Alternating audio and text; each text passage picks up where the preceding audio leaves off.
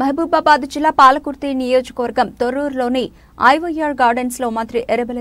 రావు ఆధ్వర్యంలో జరుగుతున్న తొర్రూరు పట్టణ బీఆర్ఎస్ పార్టీ కార్యకర్తలు ముఖ్య నాయకుల ఆత్మీయ సమ్మేళనం